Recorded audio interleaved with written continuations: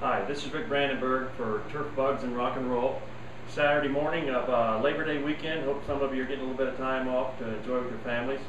Uh, out here in my, my shop just doing a little bit of work. It's hot out here this morning. Uh, but I come out here to get away from things and sometimes my wife sends me out here when I act like I'm 16. And speaking of 16 year olds, uh, hopefully out here we can also escape from a 16 year old and his guitar. I just want to cover a couple of things real quickly this morning uh, that can help you. Uh, over the last week or two and all through September, we're going to see a lot of sugarcane beetles and hunting bill bugs. And the challenge with these is that it appears in warm season turf grass, uh, the hunting bill bug and the sugarcane beetle, no matter what kind of turf grass it's feeding on, it is the adult stage that attacks the turf.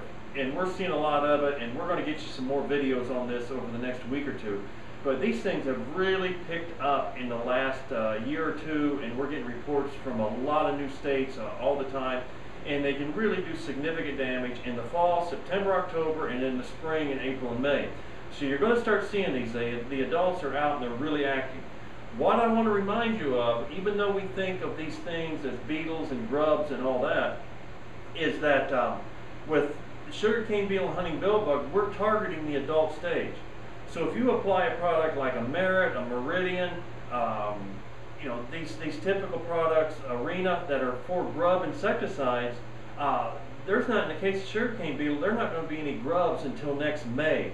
So you're not really going to get the effect that you want out of these. So we'll talk about more about control, but uh, we know the pyrethroids uh, control them very well, and we've got some insecticide studies underway right now. So we'll fill you in on that. The next couple weeks, we'll try to fill your schedule up with videos about sugarcane beetle and hunting bug adults, because uh, there's going to be a lot of damage from them upcoming in the next month or two, and, and we want to help you address those. And there'll be a lot of videos on that.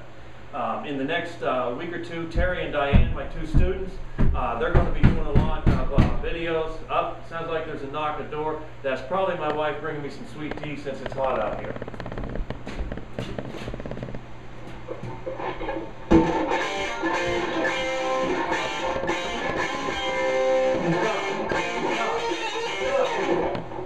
I've got important information. As I was telling you, uh, next couple of weeks.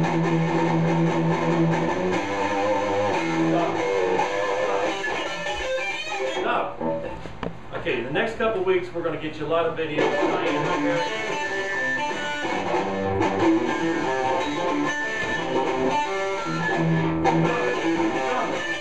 Okay, it's your last warning. You understand? Okay.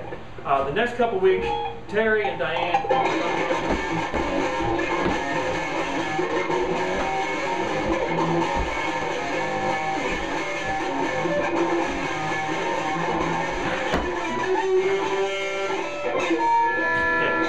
Next couple weeks, watch for these new videos with Terry and Diane. They're going to have a lot of information on scouting, monitoring, what's taking place with sugarcane beetles, and how to control them. We'll see you then. Thanks.